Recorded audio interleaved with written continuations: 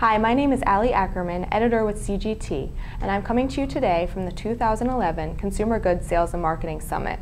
I'll be interviewing key speakers throughout the day on the strategies they deploy to delight their customers and their consumers.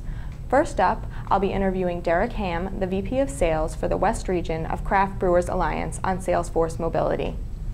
Derek, you recently deployed mobile technology to enable your sales force to better sell to your customers. Can you explain a little bit about that project? The mobile technology has enabled our company, and particularly our sales force, uh, with a extreme amount of time to sell.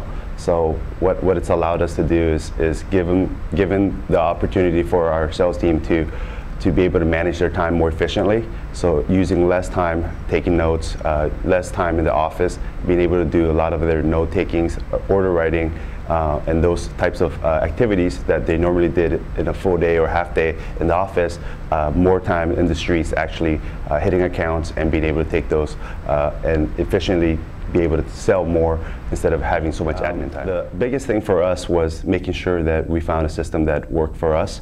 Um, and we found that not every uh, platform out there worked for us. So not settling, settling for something that, that doesn't adapt to your needs is crucial. It, it took us a, a while, uh, probably six to eight months to actually find something that worked.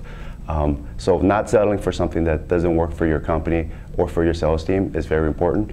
And, and then also understanding what your needs are, what your um, outcome and what your uh, um, what exactly uh, are there options that, that really works for, for you. So we, we went with the fact that uh, the BlackBerry wasn't really working for us from a functionality standpoint. Uh, it wasn't really syncing up to our, our network. So uh, we, we, uh, we went out and purchased iPads for everyone, and, and we actually found a system that I was able to adapt to the iPad and to our network, and that actually really freed up the, the time and efficiency for our sales force.